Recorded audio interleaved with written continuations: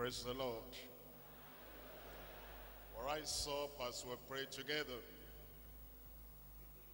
Almighty God, we thank you for this retreat. We bless your name for granting us journey mercies to be here. Thank you, Lord, for your protection upon everyone.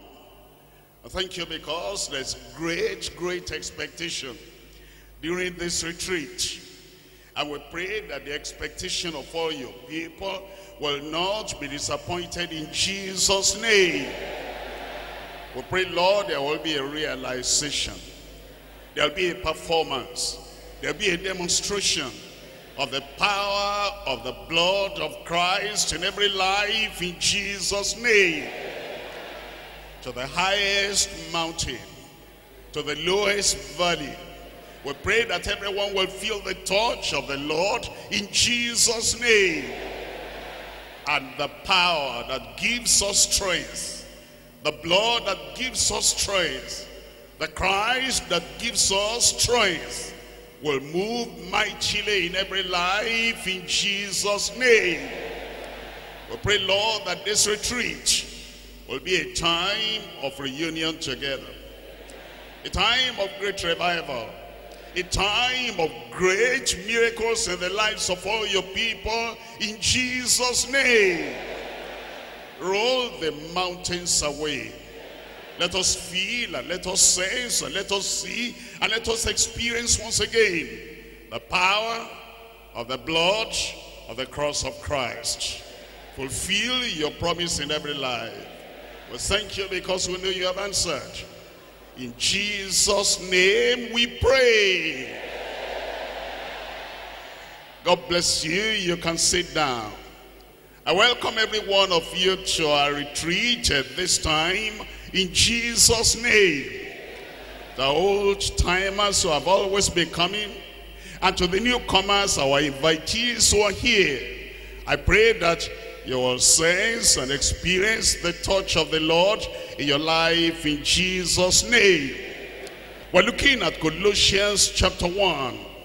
And I'm reading from verse 20 through to verse 22. Colossians chapter 1. And we're reading from verse 20.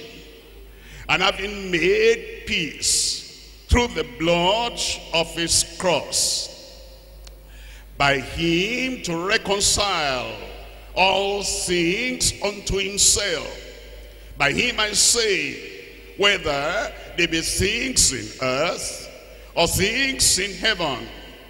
And you that was sometimes alienated, separated, and enemies in your mind by wicked works, yet now are he reconciled in the body of his flesh through death to present you holy and unblameable and unreprovable in his sight. And somebody there said, Amen.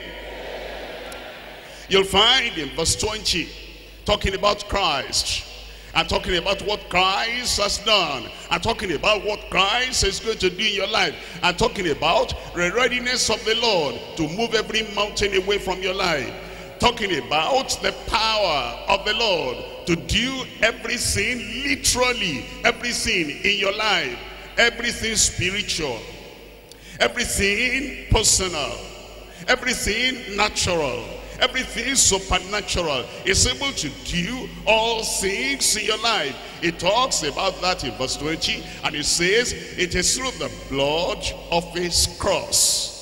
Through the blood of his cross. First of all, he tells us we're alienated from God. We're separated from God. We've been drawn away from God. But then the blood of the Lamb brings us to himself. We're reconciled unto God. And it says, after that reconciliation, then he begins to pour blessings into our lives. And you'll discover as we go through the references referring to the blood of the cross, the blood of Jesus Christ that is shed for you, for me, for us on the cross of Calvary. You're going to find that he's able to do all things between now that you are born again until the time you will see him in glory. In fact, he tells us at the end of that verse 22, it says, is able to present you holy, it will happen. Unblameable, it will happen. And unreproachable, unreprovable in his sight. Actually, Paul the apostle tells us quite a lot about Christ, Christ at Calvary, Christ on the cross, and Christ who has made everything available for you and for me. And as we touch him by faith, and we pray unto him knowing that the blood of Jesus Christ has provided everything that we need. As we touch him by faith, impossibilities will become possible in your life. And it will roll mountains of sin and mountains of sickness and mountains of satanic attack. It roll everything away from your life in Jesus' name. Look at chapter 1 verse 14. Colossians chapter 1 verse 14. It says, in whom we have redemption through his blood, even the forgiveness of sin. It starts from something very basic and something very normal and something very foundational. And it says, he gives us redemption. We confess our sins to him and we look to him on the cross of Calvary. And he takes all our sins away. He gives us redemption. And then that brings reconciliation into our lives. He cancels the judgment that had been upon our lives, even because of our evil. And he tells us it is by the blood of the Lamb, the blood of his cross. Look at chapter 2. In chapter 2, I'm reading from verse 14. It says in chapter 2 verse 14, it says blotting out the handwriting of ordinances that was against us, which was contrary to us, and he took it out of the way, nailing it to his cross. You can tell there, all the judgment that shall have been upon us, Christ, because of his death, Christ, because of his sacrifice, Christ, by his suffering, he took all that judgment away and he nailed it to the cross. The apostle is telling us quite a lot. He's telling us from the point of redemption, from the point of your salvation, all through your life, as you face the challenges of life. He tells us the power of the blood, the power of his cross is able to make us overcome. You have overcome. In chapter 3, it tells us from verse 1. Chapter 3 is spoken about his death. It's spoken about his sacrifice. It's spoken about his suffering. He has spoken about our forgiveness, our redemption, our righteousness. Now he talks about his resurrection. In chapter 3 of Colossians verse 1. If ye then be risen with Christ, seek those things which are above, where Christ sitteth on the right hand of God. Set your affections on things above, not on things on the earth. For ye are dead, and your life is hid with Christ in God. He's telling us that as he died, we died with him. As he was buried, we were buried with him. And as he rose again triumphantly, he says, we're risen with him. And because we experienced that resurrection power all through the cross, he was betrayed, was crucified, he died, was buried, he rose again. And now he says, we're risen with him. And we seek those things above, where Christ seated on the right hand of majesty and power. And then he reminds us, he says, we're dead, dead with him, and our lives are hid with Christ in God. You can tell there's a lot we learn, there's a lot we know, there's a lot we have through the death and through the burial and through the resurrection of the Lord Jesus Christ. How do we have all this? How do we have all the benefits of the cross? How do we experience the power of the blood of the Lamb that was shed for us? By prayer. Look at verse 2, chapter 4. Chapter 4, verse 2. It says, continue in prayer and watch in the same with thanksgiving. This retreat should be a retreat of praying because we pray, we possess. We pray, we receive. We pray and the burdens of our lives are rolled away. We pray, sins are forgiven. We pray, souls are saved. We pray, believers are sanctified. We pray, the sick are healed. We pray, the oppressed are delivered.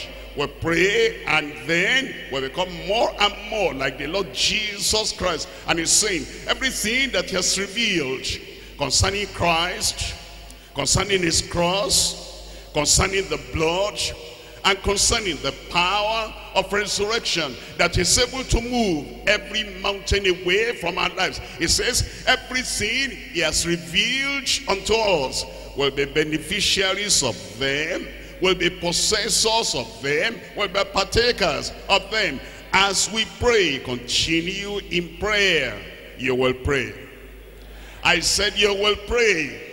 And we will pray. And God will open the heavens and he'll bless us mightily in Jesus' name. Chapter 4, verse 12. Epaphras, who is one of you, a servant of Christ, salutes you, always laboring fervently for you in prayer. You see that? It's saying that what we're going to have, what we're going to experience, what we're going to possess is as we labor fervently in prayer. I believe that you'll make this retreat a period of praying a period of seeking the face of the Lord, a period of bombarding heaven with your request so that all the problems of your life during this time with the power of prayer and with the power of faith looking to Christ on the cross all those problems they'll be rolled away in Jesus name and if you were weak before you came you are going to become strong if you are dirty or defiled, you are going to become clean. And if in any way you have almost given up, new strength will come to you. A new power will come to you. And the authority of the believer with the anointing of the believer will be multiplied in your life in Jesus' name. Laboring fervently for you in prayer, that you shall stand perfect and complete in all the will of God. To stand perfect and to stand complete in all the will of God. And that comes through the power of the blood of his cross. As we look at the message, the blood of his cross, we're going to consider three points. Number one, the purpose of his sacrifice on the cross. When Christ died on the cross, it was a sacrifice. There have been sacrifices from the Old Testament. Sacrifice to take their sins away. But it was sacrifices of animals. But now Christ came to put an end to all those sacrifices because he became the final sacrifice for our sin. And so we're talking about the purpose of his sacrifice on the cross. Number two, the purity of the saints through his cross. The purity of his saints through his cross. Number three, the partakers of all sufficiency by his cross. The partakers, those are the possessors. Those are the people that receive. Those are the people that will discover there is power in the blood of the Lamb.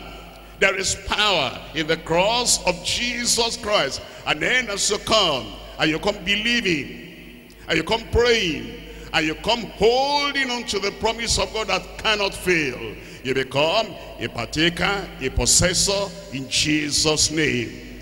And not just a possessor of a few things, but a partaker, the possessor of all sufficiency by his cross. Come to number one, the purpose of his sacrifice on the cross. The purpose of Christ's sacrifice on the cross. Do you remember? The first time when the Lord Jesus Christ appeared unto John. This John chapter 1. Reading from verse 29. John chapter 1 verse 29. The next day John sees Jesus coming unto him. And he says, Behold the Lamb of God, which taketh away the sin of the world. He says, Behold, I see him. He wants you to see him. The Lamb of God. He wants you to understand all that the blood of animals have not been able to do. The blood of the Lamb, the blood of Jesus will do. He wants you to understand all that your struggles and your trials and your trying, all that you could not do. He says Christ has come to do that in your life. And he says, behold the Lamb. Do you feel the weight of your sin? Behold the Lamb. Do you feel the insufficiency of your trying to be holy? Behold the Lamb. Do you feel the guilt and the condemnation of sin upon your life? It says, behold the Lamb. Have you tried and tried and failed and failed? It says, behold the Lamb. Are you feeling that judgment is coming? and that because of your sins you are likely to fall into judgment and be destroyed by the fiery consuming fire of the judgment of the Lord it says behold the lamb are you feeling that already even though you say you are saved internally you are weak and there's a peculiar sin that bothers your life it says behold the lamb that taketh away behold the lamb that taketh away that is, it takes all those sins away. It takes it away, number one, from the record of God. Because every time somebody commits sin, it is written down. And when it is reaching down, if you don't repent, if it is not forgiven, the remembrance of it is always there. But Jesus came and he sacrificed. He died on the cross for you and for me. And when he was nailed to the cross, that brings the possibility that the record of your sin will be blotted away. Behold the Lamb that taketh away the sin of the world. And it says it's for anybody and everybody in the world. Because whosoever shall call on the name of the Lord shall be saved. And this very time, at this very moment, and in this very place, all those sins you have committed, all those uh, condemnations and guilt that you have, everything can be taken away right now. All you need to do is to behold the Lamb that taketh away the sin of the world. You feel so weak that you feel the presence of sin always there. My sin is ever before me. No matter what I do, no matter how I try, and no matter how much I try to be religious, the sin is always there. The pressure is always there. And John says, solution has come. The solution of the guilt and the solution of the condemnation and the solution of the weakness and the solution of the presence of sin always in your life. Behold the Lamb of God that taketh away the sin of the world. See in the Old Testament, when he brought all those sacrifices, it was only for the Jewish people, for the children of Israel. Aaron was the high priest only for the children of Israel. And all those Levites were ministers only for the children of Israel. But now, but now, God so loved the world that he gave his only begotten son, that whosoever in the wide world that believes in him will not perish but have everlasting life. So then John reminds us this is not a local sacrifice. This is not a native sacrifice. This is not a localized sacrifice. This is for the whole world, for the white and the black, for the men and for the women, and for the young and for the old and for you even today in this generation. And so he calls upon you, behold the Lamb that taketh away the sin of the world. That blood will avail for you. I said that blood will avail for you. You don't have to say, I don't know whether I'm to be saved or not. Of course, of course, it's for the whole world. Of course, it's for whosoever of course, is whosoever shall call on the name of the Lord shall be saved. Thank God your salvation is available. In First Peter chapter 2. First Peter chapter 2. I'm reading from verse 24. Who his own self bear our sins in his own body on the tree. Stop there for a moment. Himself bore, carried, took our sins on himself, on the tree, on the tree, on the cross. The same thing, because the cross was made of wood. That's why it says of the tree. And he's saying he himself, after John had said, Behold the Lamb that taketh away the sin of the world. Now he tells you that Jesus, when he sacrificed himself on the cross of Calvary, he did that so that he could bear the punishment of your sin. He took that. The power of your sin. He took that away. The guilt of your sin. He took that away. The punishment of your sin. He took that away even the remembrance and the memory of your sin. He took that away. The record of your sin. He took that away. Who his own self bear our sins in his own body on the tree that we, after we have repented, that we, after we have believed in him, that we, after we recognize that sacrifice was for me, that we, after we hold on to that Christ who died for us, that we, after we identify with the Christ who has taken our sins away, he says that we, being dead to sins, should live unto righteousness, by whose stripes by whose stripes ye were healed. He healed our soul. He healed our spirit. He healed our body. He healed anything that is weak, anything that is sick, anything that is lowly, anything that is oppressed in us. And that total all-round healing will be yours through him in Jesus' name. First Peter chapter 3. In First Peter chapter 3, I'm reading from verse 18. For Christ also, as once suffered for sins. You see that? He didn't commit any sin. He didn't do any evil sin but for your sin, but for your evil. It says, Christ also. That's the final sacrifice. That's the sacrifice for your sin. That Christ also has suffered for sins. The just for the unjust. The sinless for the sinful. The perfect for the imperfect the holy for the unholy, the eternal, the immortal for the mortal.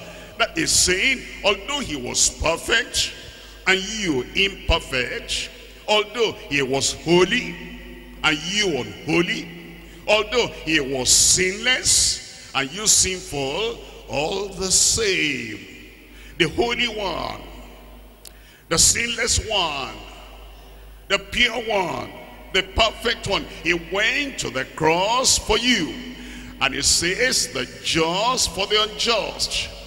That he might bring us to God, be put to death in the flesh, and quickened by the Spirit.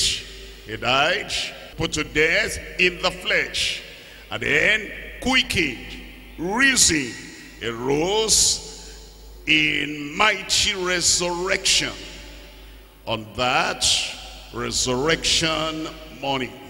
You see the purpose of that sacrifice. The purpose is to have us forgiven. The purpose is to set us free. The purpose is to so change us that the power of sin is nullified in our lives. And I pray you'll experience that in your life in Jesus' name. The fullness of his salvation and the goodness of the result of his redemption. Ephesians chapter 2. In Ephesians chapter 2, reading here from verse 16.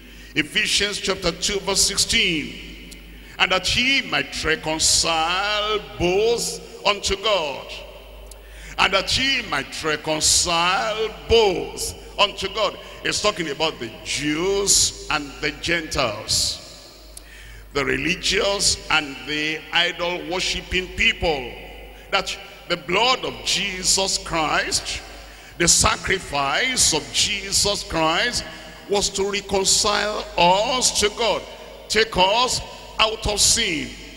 Take us out of evil.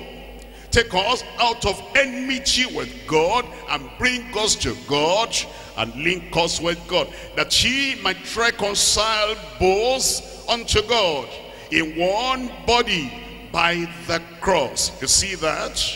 Having slain the enmity thereby. It's that cross of Jesus Christ that removed the enmity the enmity man had against God, that the sinner had against the holy God, the enmity that was inborn, the enmity that was caused by fear, because he knows that God is a God of judgment. He says Christ has now come. And as Christ has now come, he has come to take away that enmity and then he reconciles us to God. And you don't see him as the judge anymore. You see him as father. And you're able to say, Abba, Father. Look at verse 17. And he came and preached, proclaimed peace to you, which were far off, and to them which were near. Afar off, the Gentiles, those who were near religiously, the Jews, and he proclaimed peace unto both. For through him we both have access by one spirit unto the Father through Jesus Christ and through that sacrifice that he made for us. Now we can have access to the Father. And as you are there, and you feel so detached from God as you are there. And you feel so far away from God as you are there. And you feel alienated from God. Look at Christ. Look at that sacrifice. Look at the blood he shed for you. And look at the sin he has done so that he'll take all that alienation all that separation all that condemnation. He takes everything away then he reconciles you to the heavenly Father. Colossians chapter 2. In Colossians chapter 2, I'm reading from verse 11. Colossians chapter 2. We're reading here from verse 11. In whom also ye are circumcised with the circumcision without hands It's talking about something richer now, and something deeper, and something higher. It's talking about forgiveness. It's talking about reconciliation. He's talking about taking the enmity away. Now he's talking about something, the inbred nature, the depravity, the root of sin, something you brought into the world. And he says, it's by the sacrifice of Jesus Christ on the cross of Calvary that he even takes all that inbred nature, original dirt and defilement, that he takes that away by the circumcision made without hands in putting off the body of the sins of the flesh by the circumcision of Christ. They say, Lord, Christ has done by his sacrifice. And as you appropriate that, I say, praise the Lord, that's for me. You'll discover that he'll cleanse you. He'll set you free. He'll break away from you even the original sin and the weakness that you had originally. And as you say, I know the scripture is true. I know that whatever people say, whatever people understand, whatever people do not understand, look at what Christ has done by his death on the cross of Calvary for me, that there is a circumcision without hands, a putting off of the body of the roots of the nucleus of sin, the sins of the flesh, by the circumcision of Christ. He says in verse 12, buried with him. Completely identified with him. Completely associated unto him. Completely joined unto him. Buried with him in baptism wherein also ye are risen with him through the face of the operation of God who has raised him from the dead. And you being dead in your sins and the uncircumcision of your flesh as he quickened together with him having forgiven you how many trespasses? All trespasses and I pray that that experience will be yours in Jesus name. Look at this one verse 14 blotting out. The handwriting of ordinances that was against us. That is, everything you have done, and because of all those things you have done, like that hand wrote against Belshazzar, which and found wanting. It says, because of Christ, because of his sacrifice, because of the shedding of his blood, it says, he has blotted away, he has taken away the handwriting that was against you which was contrary to us, and he took it out of the way, nailing it to his cross. Verse 15, and having spoiled principalities and powers, powers of darkness are defeated. And all those powers of darkness, they are displaced. They'll not bother you as you trust in the blood of the Lamb as you trust in the power of his cross. He says, having spoiled principalities and powers, he made a show of them openly, triumphing over them in it. And that triumph will be transferred to every one of our lives in Jesus' name. He grants us forgiveness he grants us reconciliation. He grants us redemption. He grants us freedom. He grants us the blotting away of ordinances against us. He grants us freedom from the power of evil spirit or powers of darkness. All by the sacrifice of Jesus Christ that he did for us on the cross of Calvary. And he sets us free what is sacrifice. Hebrews chapter 9. Hebrews chapter 9, reading from verse 24. Hebrews chapter 9, verse 24. For Christ is not entered into the holy places made with hands, which are the figures, the shadows, the pictures of the true. But he has entered into heaven itself, now to appear in the presence of God. Tell me those last words there. Tell me out loud. To appear in the presence of God for me. Somebody there said, for me. He has appeared in the presence of God for me. Think about that. You felt guilty. You felt condemned. You felt weak. You felt powerless. You felt you were going rushing unto the judgment day. And before you get to that judgment day, Christ has appeared in the presence of God for you. And he's saying, I died for him. I died for her. And because he died for you, judgment is taken away. Condemnation is taken away.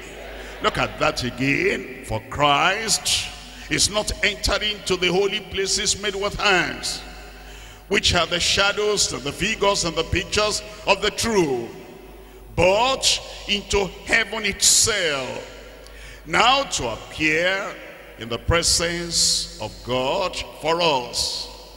Not yet that he should offer himself often, as the high priest entereth into the holy place every year with blood, the blood of others. For then must he often have suffered since the foundation of the world.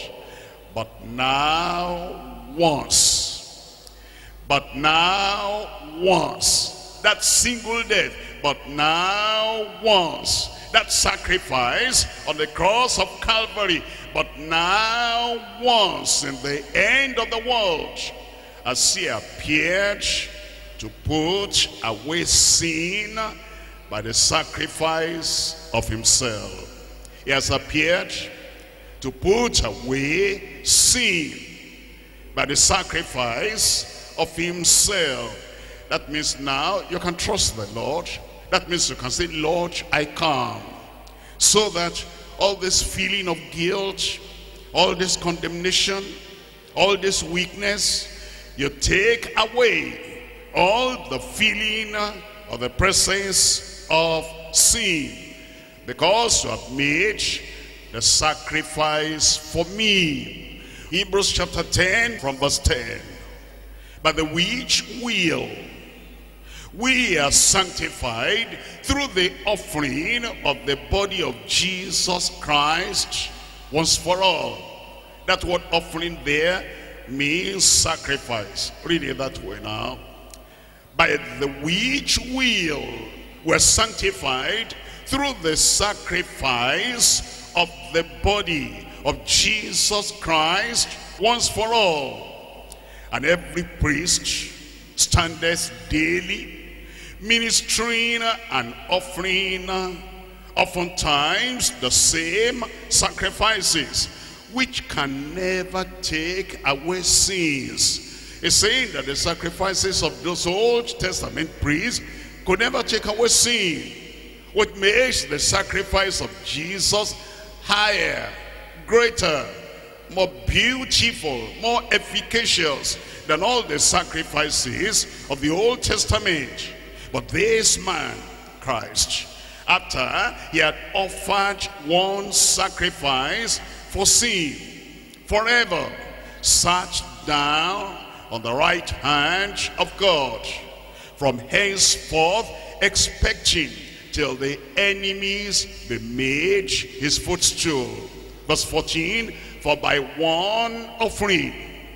Verse 14, for by one sacrifice he has perfected forever them that are sanctified. He will perfect you.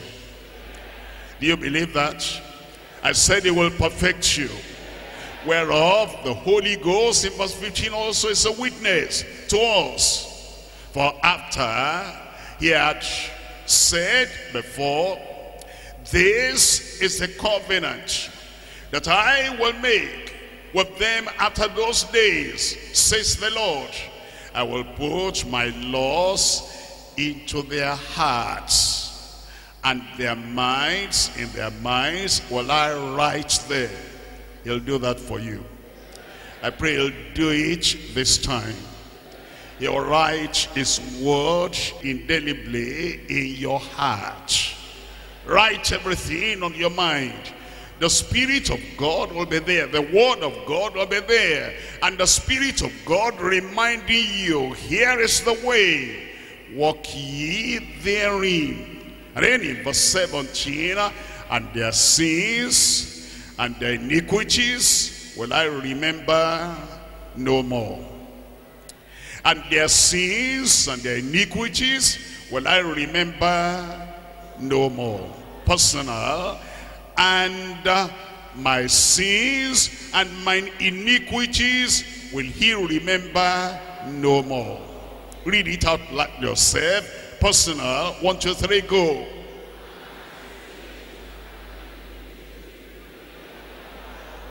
That means when you come to Christ. That means when you turn away from that sin. That means when you call upon the name of the Lord, he will so he will so cleanse you, he will so change you, he will so turn your life around that he says all your sins, all your transgressions, all your iniquities, he will remember no more. What do we do now? Verse 22. Let us draw near with a true heart in full assurance of faith having our hearts sprinkled from an evil conscience and our bodies washed with pure water. Let us hold fast the profession of our faith without wavering, for he is faithful that promised. When he sees the sacrifice of his only begotten son, when he looks at the cross on which Christ died for you, and then he sees you holding on by faith to that sacrifice of Jesus on the cross. He is faithful who has promised he'll take all your sins away. He'll write your name in the book of life in heaven. And when you leave this world because of Christ, because of Christ, he'll take you straight to the presence of God where Christ has gone to appear for you. You'll be there. Point number two now is the purity of the saints. The purity of the saints through his cross. Look at this. The first sin, we were sinners. We couldn't save ourselves. We couldn't change our lives. Then we looked at Christ on the cross of Calvary. We heard the proclamation, Behold the Lamb that taketh away the sin of the world. And we looked at him by faith, looking unto Jesus, the author and the finisher of our faith. And as we looked unto him, all our sins dropped off we're no more sinners, we become saints. A change has happened. Conversion has taken place. Transformation has been effected in our lives. Now we are saints as well as sons of God. And now that cross still has more for you. That cross still has more for me. Because, number one, we have peace with God. We have pardon from God through the cross. And now, as the sons of God and as the saints of God, we come to him And he gives us purity, the purity of the saints through his cross. The purity of the saints through his cross. Hebrews chapter 7. I'm reading from verse 25 and verse 26. Hebrews chapter 7, verse 25. Wherefore, he is able, our God is able. He is able, our Christ is able. Wherefore, he is able also to save them to the uttermost that come unto God by him, seeing he ever lived to make intercession for them. There are many people that only think about the prayer of Christ on the cross. But you know, after he prayed on the cross, forgive them, Father, for they know not what they do. Then he died. Then he rose again on the third day. And after appearing to his disciples for those infallible proofs and evidence of his resurrection. After 40 days, he went to heaven and is seated on the right hand of majesty on high. And now he says, he ever liveth to make intercession for those who are saved. He's praying for you. I said the Lord is praying for you. Verse 26, for such an high priest became us, who is holy, harmless, undefiled, separate from sinners, and made higher than the heavens. It talks about Christ, and it says, is able to save us to the uttermost because he's praying for us. He himself is without sin. And now he wants our lives to be so clean, to be so pure, to be so righteous that the blood cleanses and washes and purges and purifies and it grants us the purity of the saints. First John chapter 1 verse 7. In First John chapter 1 verse 7, but if we walk in the light, you will walk in the light. You're born again, you'll not walk in darkness anymore. And But if we walk in the light, as he is in the light, we have fellowship one with another. And the blood, and the blood, and the blood of Jesus Christ, his son, what does he do? Cleanses us from all sin. He can do it for you. He will do it for you. The purity of the saints, the cleansing of the saints, the transformation of the saints that Christ by his blood, Christ by that single sacrifice acceptable unto the Father. It says it cleanses us from all sin. It grants us salvation. And then it grants us sanctification, the purity of the saints. Titus chapter 2 Reading from verse 11. Titus chapter 2, verse 11. For the grace of God that bringeth salvation has appeared unto all men. For the grace of God that bringeth salvation has appeared unto all men, all mankind, in the west, in the east, in the south, in the north. For the grace of God that bringeth salvation has appeared unto me. You must never forget that all these promises are yours in particular. And you could read that and just run away and not understand, this is yours. The grace of God that bringeth salvation, free salvation. The grace of God that bringeth salvation, full salvation. The grace of God that bringeth salvation, final salvation.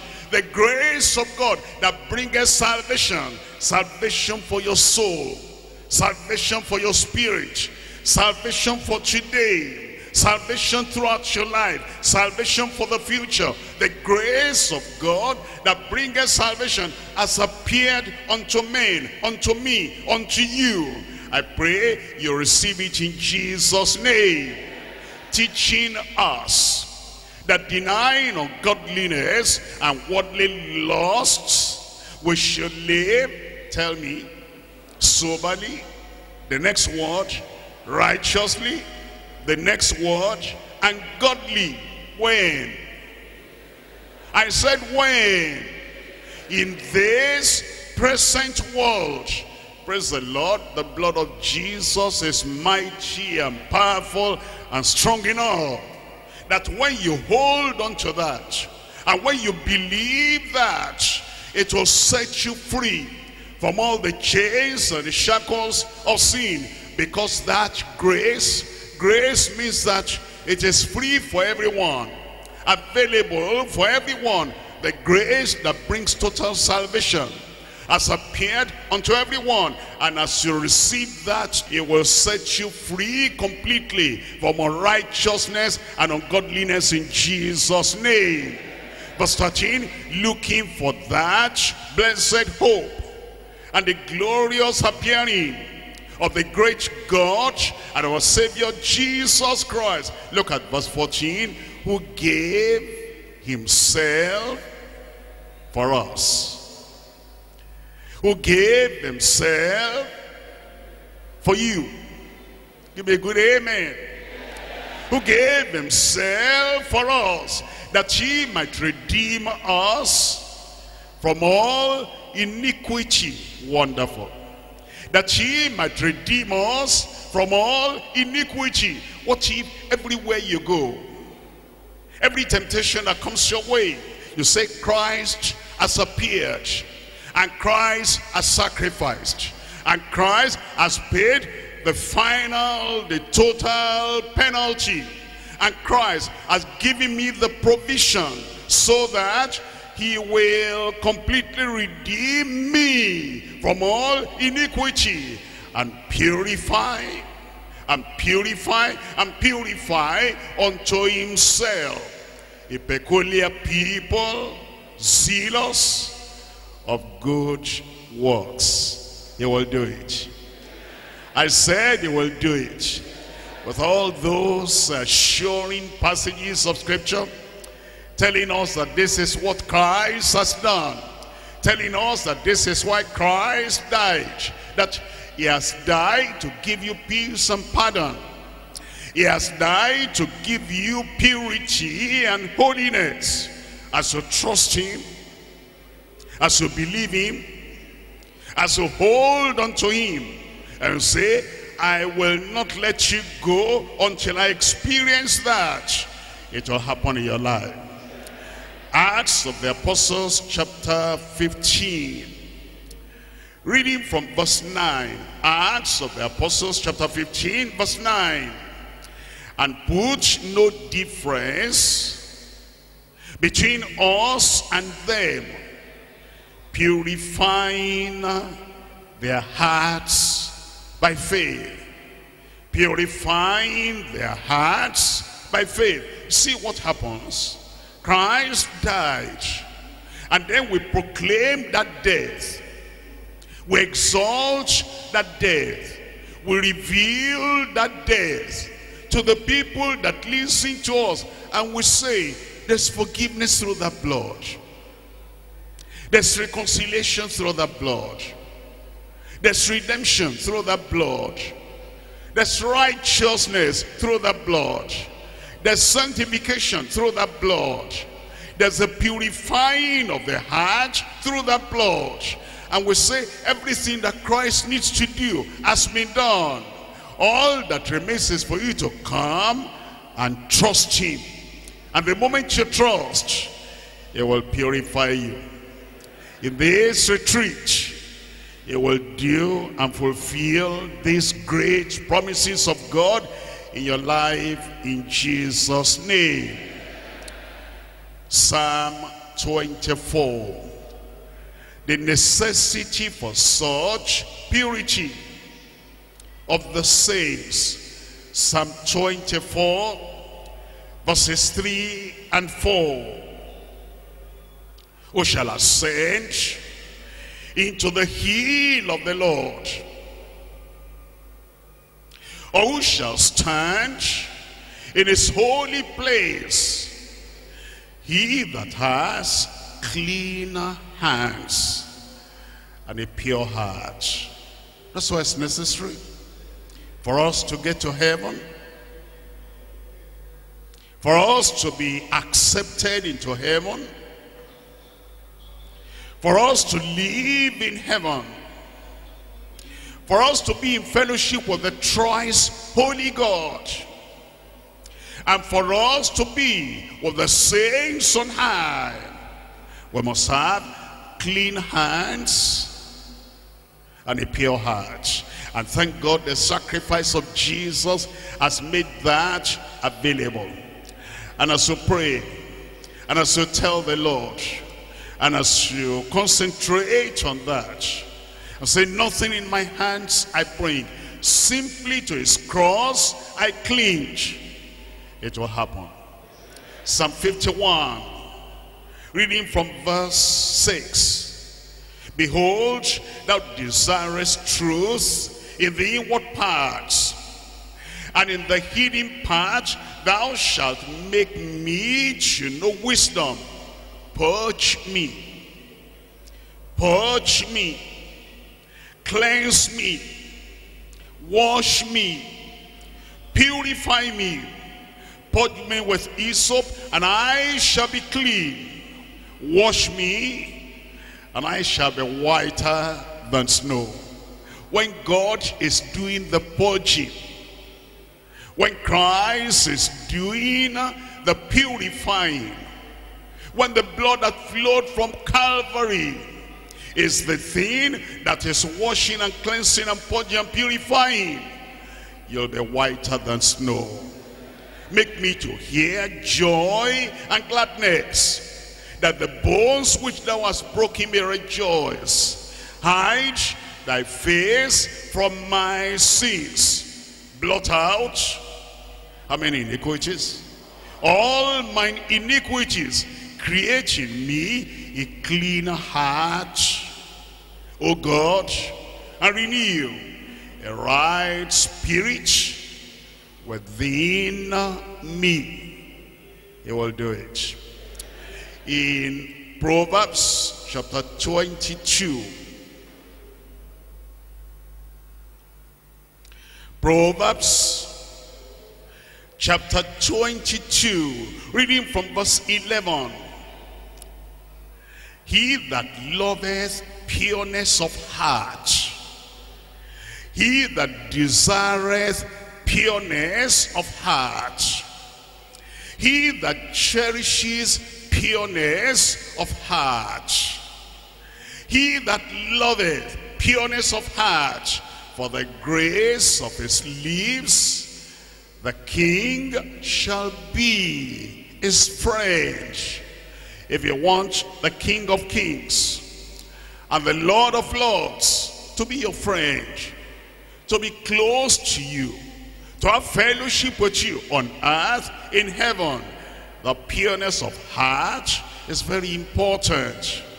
That's why it says in Matthew chapter 5, Matthew chapter 5, reading from verse 8. Matthew chapter 5, verse 8. Blessed are the pure in heart. I pray this blessedness will be yours in Jesus' name.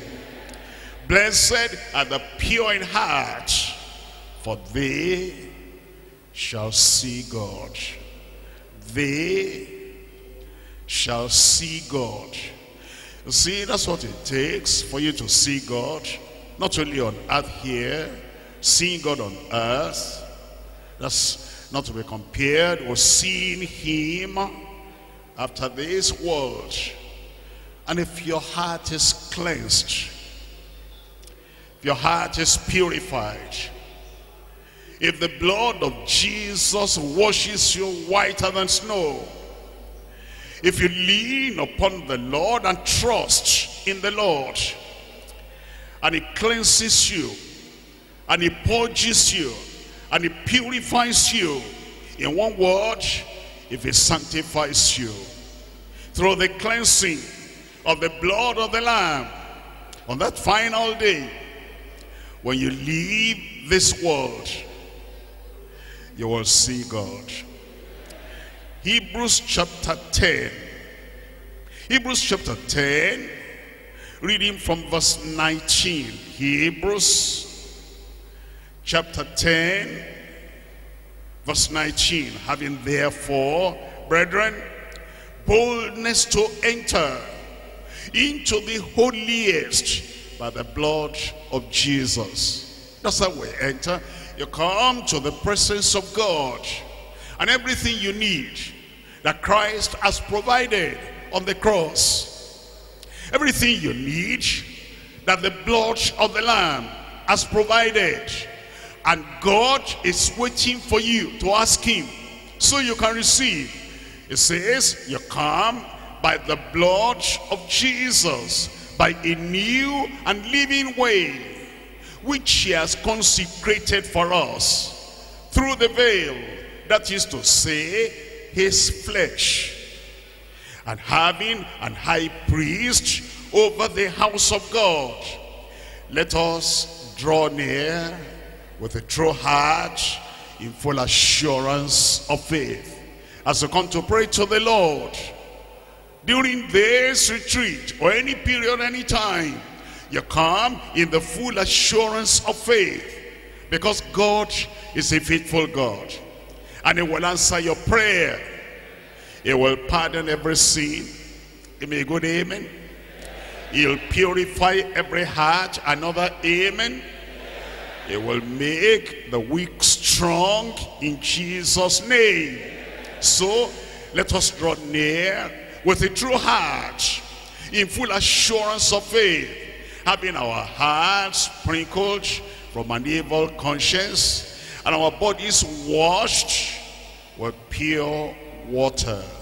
Let us hold fast the profession of our faith without wavering, for he is faithful that promised. He will answer your prayer. Point number three now, the partakers of all sufficiency by his cross. The partakers, that means the possessors of all sufficiency by his cross. In Colossians chapter 1, Colossians chapter 1, verse 12, giving thanks unto the Father which has made us meet, which had made us fit, which has made us ready to be partakers of the inheritance of the saints in light. He has made us ready, has made us qualified, has made us fit, so we don't need to think, will I be accepted? Will I not be accepted? He will accept you. He will receive you. Forgiveness, you'll be a partaker. Pardon, you'll be a partaker. Peace, you'll be a partaker. Purity, you'll be a partaker. Power, you'll be a partaker. Authority, you'll be a partaker. Anointing, you'll be a partaker. Because it says, partakers of the inheritance of the saints in light. Look at verse 13. Who has delivered us from the power of darkness and has translated us into the kingdom of his dear son. All powers of darkness are crushed in Jesus' name. In whom we have redemption through his blood, even the forgiveness of sins. It says in him we have that redemption, even the forgiveness of sins. Look at verse 20. In verse 20, and having made peace through the blood of his cross, by him to reconcile all things unto himself. By him I say, whether there be things in earth or things in heaven, and you that was sometimes alienated, separated, and enemies in your mind by wicked works. Yet now, as he reconciled in the body of his flesh through death, to present you, to present me, to present who? To present you holy, unblameable, unreprovable in his sight. Look at verse 23. If ye continue, I will continue. If ye continue, I will continue. If ye continue, somebody there, I will continue. If ye continue in the faith, we don't slide back to unbelief. We don't slide back into doubting. We don't slide back into our sins. It says, hey, ye continue in the faith, grounded and settled, and be not moved away from the hope of the gospel, which ye have heard, and which was preached unto every creature which is under heaven, whereof I, Paul, am made a minister. Look at verse 27. To whom God would make known what is the riches of the glory of this mystery among the Gentiles, which is Christ in you, the hope of glory. Christ in you, the hope of glory. You open the door of your heart. He comes in. He comes to stay. He comes to abide. He comes to bless. He comes to cleanse. It comes in to purify. It comes in to empower. It comes in to make you come alive, to quicken you. Christ in you, the hope of glory. Chapter 2 of Colossians. Colossians chapter 2, verse 6. As ye have therefore received Christ, received Christ Jesus the Lord. It says, so walk ye in him. As ye have therefore received Christ Jesus the Lord. It says, if you're going to be a partaker of everything he has provided on the cross of Calvary, so you walk in him. Look at verse 7. Rooted and built up in him and established in the faith as ye have been taught, abounding therein with thanksgiving. Verse 9, for in him dwelleth all the fullness of the Godhead bodily. Whatever we need, everything is in Christ. Whatever the Father has promised, everything is in Christ. It says, all the fullness of the Godhead abides in him. And now he tells us in verse 10, and ye are complete in him. He'll make you complete. Which is the head of all principality and power. Chapter 3 of Colossians, verse 1. If ye then be risen with Christ. You see what he's saying? He's saying, come to Christ, abide in Christ, live in Christ, let him live in you. You died with him. You are buried with him. You rose with him. You're seeking those things now which are above. It says, if ye be risen with Christ, seek those things which are above, where Christ sitteth on the right hand of God. Set your affections on things above. Like you set a wristwatch. Set your affections on things above. Like you set a compass. Set your affections on things above. Like you set your mind on something and you will not let go.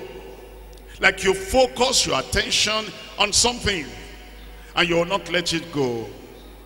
Like you focus your aspiration on something and you will not let it go. Set your affection on things above and not on things on the earth. For ye are dead, and your life is seen with Christ in God. When Christ, who is our life, shall appear, then shall ye also appear with him in glory. I will appear with him in glory. I said you will appear with him in glory. Because he says, if we set our affections on things above, and we're looking on those things above, and we're saying, Lord, I'm waiting for your coming. I'm waiting for your appearance. And I want to rise with you. I want to be raptured when you come. He says, if that is what you set your mind on, and you believe that when he comes, he will take you home, it will happen to you in Jesus' name. Then he tells us in verse 16, chapter 3, let the word of Christ dwell in you richly. Let the words of Christ, the promises of Christ, the provision of Christ from Calvary, the privilege you have in Christ, revealed to you in his word. Let the word of Christ dwell in you richly, in all wisdom, teaching and admonishing one another in psalms and hymns and spiritual songs, singing with grace in your hearts to the Lord. And whatsoever ye do in word or deed, do all in the name of the Lord Jesus, giving thanks to God and the Father by him verse 23. And whatsoever ye do, do it heartily. He says, now that you come to Christ, now that you have tasted of Calvary, now that you have tasted his pardon, now that he purifies your heart, now that he empowers you to live to his glory, he says, whatever you do, don't do it superficially. Don't do it with eye service. Don't do it with half of your mind.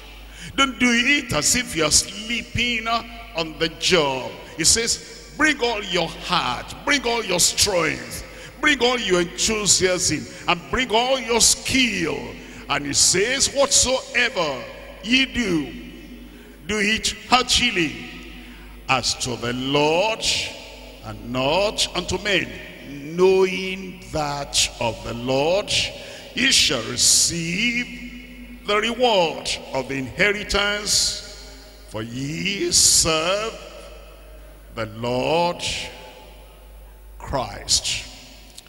And now as we come to a conclusion of the blood of his cross, the provision he gives, the purpose for that sacrifice, the purity he showers on us, and the possession that he gives us as we trust him and we look to Calvary. The question is, what do we do? How do we make these things ours? Colossians chapter 4, verse 2.